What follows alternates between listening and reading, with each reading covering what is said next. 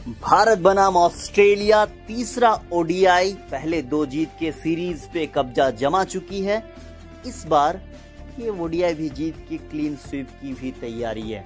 स्वागत आप सभी का हमारे YouTube चैनल पे। अगर आप सब हमारे YouTube चैनल में नए हैं तो प्लीज़ हमारे YouTube चैनल को सब्सक्राइब करें और बेल आइकन के घंटी को प्लीज़ दबा दें ताकि जो भी नए वीडियोस आए, आप सब तक सबसे पहले पहुँचे।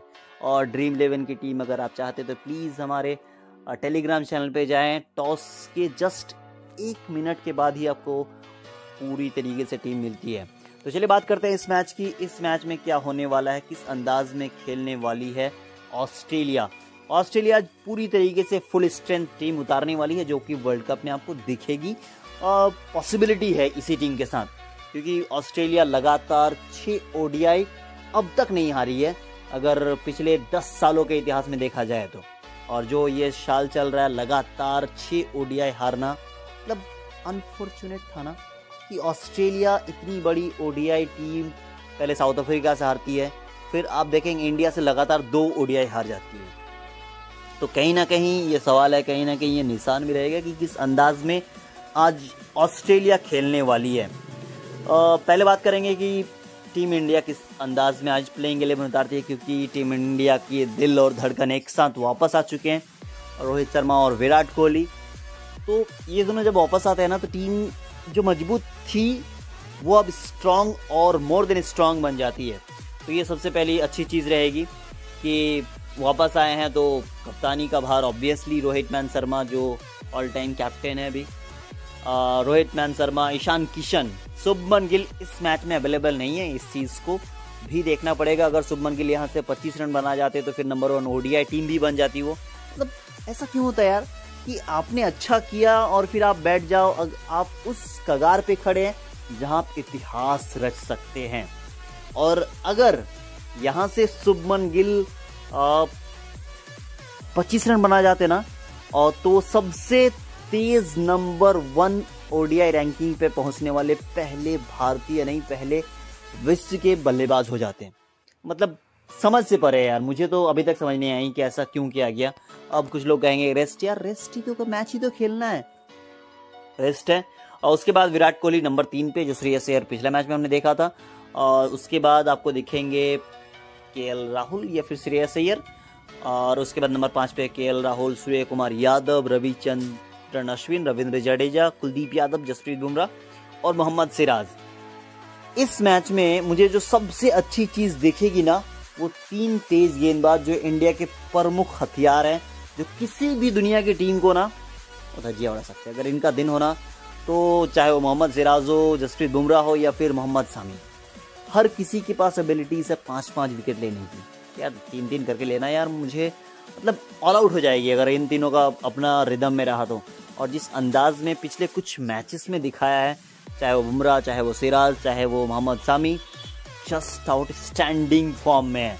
तो मेरे हिसाब से तो अच्छा करेगी।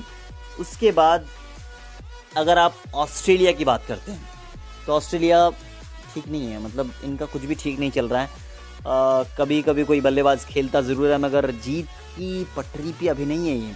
और मैं अभी भी कह रहा हूँ यार कप्तान पैक कमिंस से क्यों है? मतलब पैट कमिंस टेस्ट के लिए, चलो ठीक है टेस्ट के लिए कप्तानी करते हैं, अच्छी गेंदबाजी है। अगर पैट कमिंस अच्छे गेंदबाज हैं, उस प्रेशर को कप्तानी में मतलब मेरे हिसाब से तो अभी भी Steven Smith is one of the best captain in Australia अगर आप देखेंगे कि जो माइकल क्लार्क की कप्तान 2015 में जीती थी तो उस समय स्टोन स्मिथ ने चार मैचेस जिताए थे अपनी कप्तानी करते हुए। और इतना अच्छा एक्सपीरियंस वाले कप्तान स्टोन स्मिथ से बेहतर कप्तान मैंने आज तक नहीं देखा है।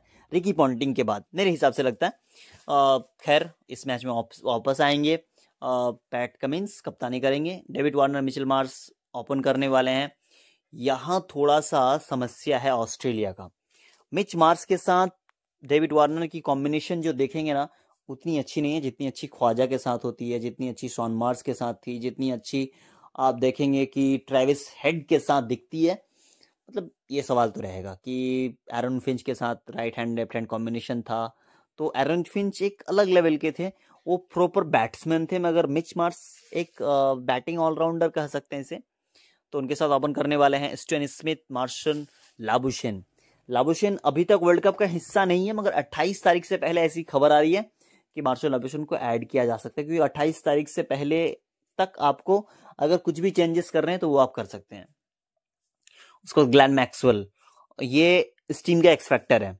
इनका बल्ला जिस दिन बोलेगा ना, वो सामने चाहे वो कोई भी गेंदबाज हो, ये अपने दिन पे छक्के जोके की बारिश कर देगा ये। ऐसी एबिलिटीज इसके पास है। उसके बाद अगर आप बात करेंगे कि जिस अंदाज में वो गेंदबाजी भी कर जाते कभी कभी वो विकेट टेकर गेंदबाज है और इंडिया में काफ़ी ज़्यादा सक्सेसफुल भी रहे हैं तो ये चीज़ अच्छी है।